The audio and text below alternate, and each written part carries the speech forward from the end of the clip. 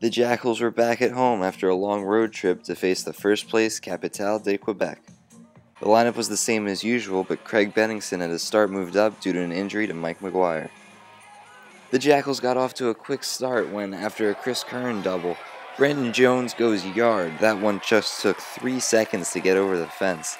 That's Jones's first home run as a Jackal, and it gives them a 2 0 lead. The Jackals added more in the second when Danny Rams hit a solo shot, and then Jeremy Barnes drove in Benji Johnson to increase the lead to 4 0. The hot bats continued into the fourth when Brandon Jones loops a single into center with the bases loaded. That'll score Benji Johnson for a small cushion, but two batters later, Nick Giarraputo breaks it open, jumping on a hanging breaking ball and putting it into the gap to clear the bases and put the Jackals up by five.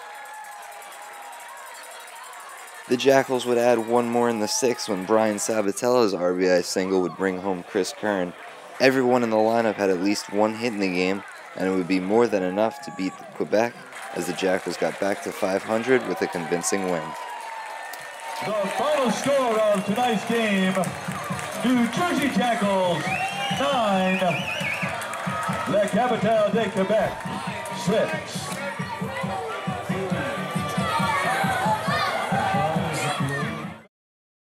Jackals fans, remember to like us on Facebook, follow us at Jackals Baseball on Twitter, and go to jackals.com for tickets, info, and more.